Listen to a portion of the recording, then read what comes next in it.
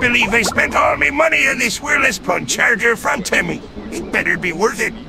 Wow! A wireless phone charger! That's so cool, Mr. Krabs.